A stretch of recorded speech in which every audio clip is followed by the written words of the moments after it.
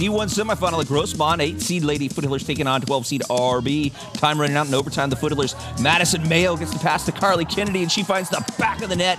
But officials call her offside, so we go to PKs, where the Broncos keeper would come with two great saves to give them the win. As RB wins it 3 1 in PKs, they'll face the three seed Scripps Ranch in the D1 championship on Saturday. Milburn